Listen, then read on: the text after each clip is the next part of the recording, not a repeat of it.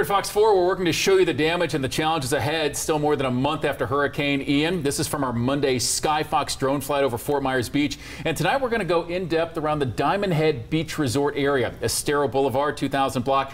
Here's Mango Street, Chapel Street. The souvenir store at the corner made it. The biscuit shop did not, along with some of those cottages on Mango and Chapel. Now reverse shot. See those trailers? That was already an open area for where they're putting up the new FMB fire station along Estero Boulevard. Now we'll go to Estero and Tropical Shore Way. If you look to the west here, you got Pelican Watch condominiums. They appear to have made up at Mom's Restaurant, did not, along with half a dozen houses behind it, along with the beach, leading back to the Neptune Resort and the Royal Scoop.